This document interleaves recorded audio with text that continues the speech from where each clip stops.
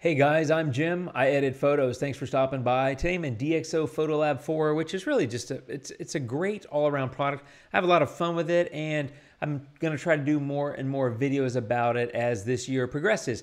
If there are specific topics or things you would like me to do, workflows or deep dives on tools, things like that around DxO Photolab 4, let me know in the comments down below. Today, this video is, I don't, I don't want to call it a deep dive, but it, it's a, at the very least, it's a getting started on the HSL tool because if you look over here in the right-hand corner uh, or on the right-hand side, they have this amazing uh, color wheel HSL tool.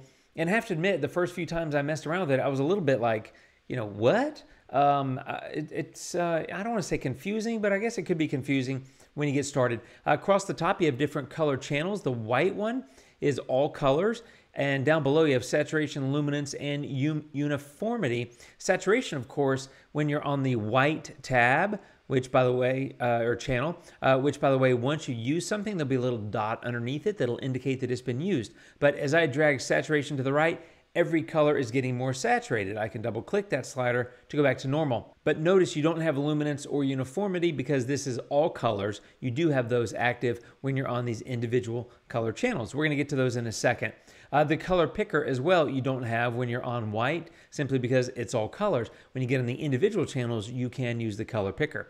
But before I do that, I want to start with this little thing over here. And there's basically two circles here, right? There's an inner circle, which is a little bit larger, and there's this outer circle. So the inner circle, and you see this, uh, hopefully you can see here with my mouse, um, as I drag this, this is basically a hue shift kind of slider. And so where this line lines up, which by the way, if you move it and then double click it, it'll go back. But where this lines up, that inner circle is the color that's like, let's call it selected. Um, and as you drag this outer circle, what happens is you're moving this around and the color that's showing up next to where that line is, which you can see here is now pink, showing up next to the red, it's turning everything pink or kind of magenta that was red. And so as I continue to move this uh, color slide uh, wheel thing around, whatever you call it, as I get into the blue, you'll see that which was red is now kind of bluish purple because those are the colors that are lined up against that line. That line stays fixed there at red and allows you to come around and basically shift tones. Also note that which was kind of greenish yellow, which was the grass, is now kind of in this purple area, right? And so as I continue to drag this around, the stuff that was blue, which was the sky, is now picking up a little bit of this reddish kind of color. And by the way, that which was red over here is now kind of green, which is the truck. So hopefully that makes sense. Uh, it's basically a hue shift, but it gives you a lot of flexibility. And as you can see, you could get some really weird, fun, different kind of colors, which on a photo like this is actually kind of cool. I wouldn't use it on a portrait. You don't want to turn someone into a smurf uh, or anything like that. But you can do some pretty cool stuff with that hue slider. Now, I'm going to jump into these other channels so we can go into things a little bit more specific here. Now, you'll notice when I clicked on red, it picks the the category of red. And co consequently, when I click on orange, you can see that category is a little smaller. Yellow is even more tight. Green is really big. And that has to do with how uh, we kind of see that color. We see a lot of things as kind of a greenish yellow. We see, see very few things as kind of a pure yellow or orange, fewer things as red. This category of kind of what we call green really covers a broad range of colors. But what I want to do is go back to the red and kind of show you that you can adjust that. And so that's what this is. This inner circle here allows you to basically adjust the range of that color. In other words, you're telling this uh, this photo, here's what I want to define uh, in this category, which is red. Uh, and then you're also able to kind of feather it. And so to adjust the size of the category, tell you what, let me just first do this saturation is saturation, up and down. When I take it down, you can see it targets pretty well, but it didn't get all the color out of the truck. There's still some rust. That's probably orange. So that's where adjusting this range over here will come in handy, right? Luminance, let me take that down. You can see what that does, or if I increase luminance, I'm gonna reset that. And uniformity, as I said, uh, maybe I didn't say, but uniformity basically blends the different colors in the range that you define to make them more similar. So let's go back up, up here and play with this range.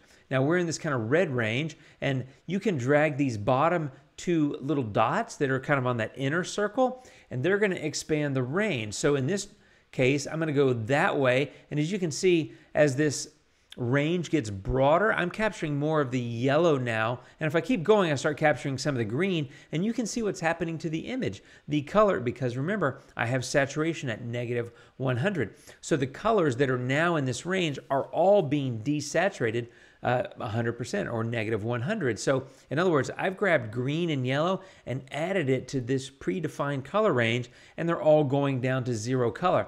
I can pull that back and say, well, I don't really want to get the greens you know, but maybe what I want to do is tighten up that range a little bit and I can go like that. Or what would be more appropriate here is this other one, this bottom circle, I can grab that and drag it this way and it's going to get a little bit more of the range to cover more of that kind of rust color. So I'm going to go like this to try to cover that rust color and you can see now the truck is completely monochrome or desaturated whereas before when it was over here you can see when I pull that back and some of that orange is coming through, that is not being desaturated because I adjusted the range. So for, for the case of the truck, I would want to go something about like that. And you can see it changing, right? So as I drag this more to the left, you can see like on the hood of the truck, there's a little bit of orange. And as I keep dragging this range, I'm capturing more and more of that orange uh, range or uh, color zone, if you will.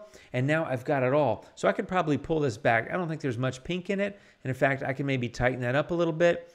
And if I go, yeah, okay. Now, I don't know if you can see, but like right here on the door, there's a little bit of uh, kind of burgundy red coming in. So I'm going to pull it back this way.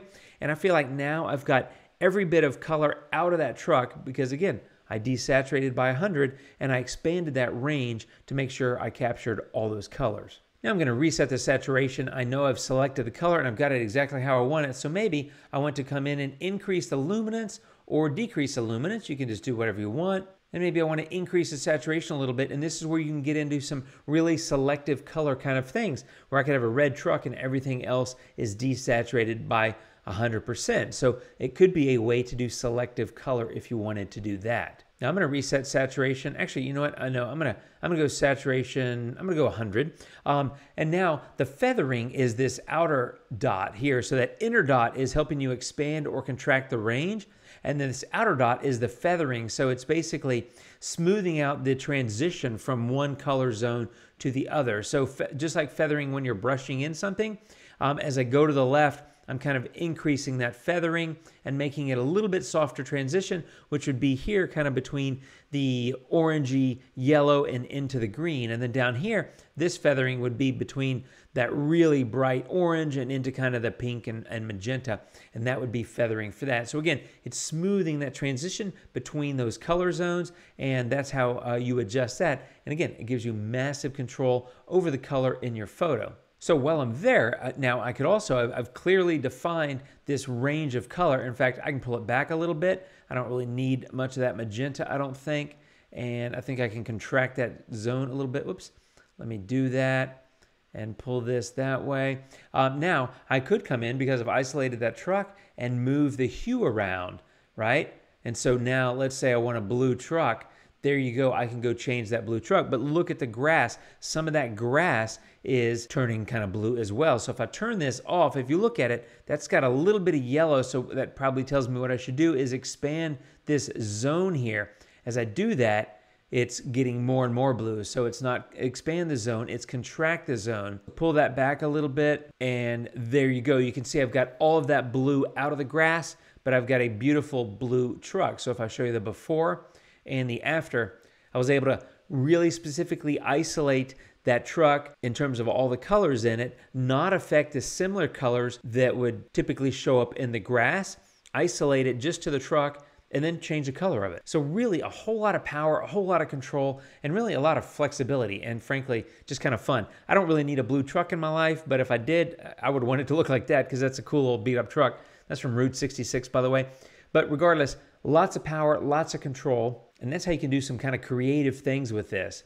And you can do that with every one of these. So let me reset this tool and I'm gonna go in with the red and I'm gonna bump up the saturation a little bit. And now I'm gonna go to the orange. I'm gonna bump that saturation a little bit as well. Now what I wanna do is I'm watching the grass to make sure I'm not giving any color bump to that. And so far, I think I'm doing okay. Now I'm gonna go to this light blue By the way, there's a color picker. I haven't gotten to that yet, so let me do that. So here's a color picker. You can click on that and you can come over and just choose a color. So let's say oh, I think this is light blue, but I'm not sure. If I click on that, you can see over here that my color uh, range moved. It was the default light blue was a little bit further up, and after I clicked in the sky, it adjusted it accordingly. So that's where the dropper comes in. Now I'm going to go ahead and increase the saturation because maybe I want more of a blue sky. And I'm going to go to green. I'm going to keep this color picker. By the way, the controls are in the bottom left. I've got it all the way uh, the radius uh, at the largest size, but if you're working on a very small area, you can decrease the size of this as well. I'm going to go ahead and leave it uh, as large as it gets for purposes of this video. And now I've got the green. So once again, I'm going to drag the saturation to take a look at it and I'm going to desaturate, take a look at it. And I think that green is isolated pretty well on its own. So I think I'm going to take the saturation down a little bit and maybe a little bit of the luminance, something like that. Uh, maybe pull that back a little bit. I'm just kind of playing around. This isn't really necessarily how to edit the photo. It's more so a demo of the tools. But as you can see, there's the before and there's the after. I've got a more vibrant blue, a little bit of kick in the orangey red in the truck, and a decrease in the green in the grass. I might come over here now to this red, give it a little bit more saturation and a little bit of luminance, and maybe go to the orange and do a little bit more of the same because maybe I really want to pop that truck and get some of those colors coming to life. So now if I turn that off, a little bit duller sky, definitely a duller truck, and grass It's fairly green but not overly done. And now with the adjustments I've made, blue sky is popping, red truck is popping, green grass is very subtle, and I like that. Okay, hit reset, and I'm back on the red with no other adjustments to the photo because I want to show you something.